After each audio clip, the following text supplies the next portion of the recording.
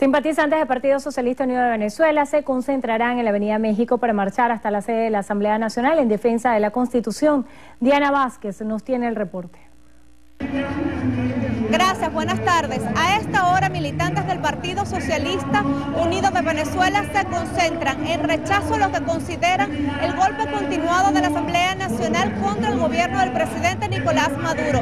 También se reúnen para respaldar la actuación de la canciller Delcy Rodríguez frente a las intenciones del secretario general de la OEA, Luis Almagro, de aplicar contra Venezuela la Carta Democrática Interamericana. Y también, por cierto, muchas de las personas con las que hemos podido conversar han manifestado su rechazo a la denominada tranca contra el golpe promovida esta marcha en el Distrito Capital por sectores de la oposición. En apoyo contundente a nuestro camarada Nicolás Maduro, a la Constitución Revolucionaria Bolivariana de Venezuela, y al Estado bolivariano y decirle al mundo que no se dejen llevar por las, por las imágenes que, que fabrican los medios de comunicación imperialistas. Nosotros creemos por la paz, apostamos por el diálogo y hacemos el llamado a esos sectores de oposición que seguro estoy que tenemos intereses de una construcción de una patria, de sentarnos en una mesa de diálogo y discutir como venezolanos.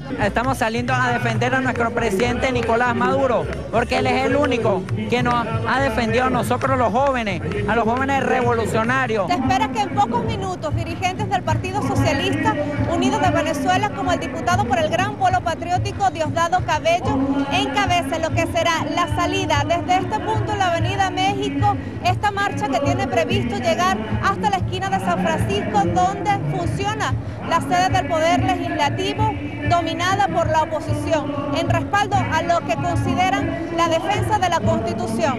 Con esta información retornamos con ustedes a los estudios.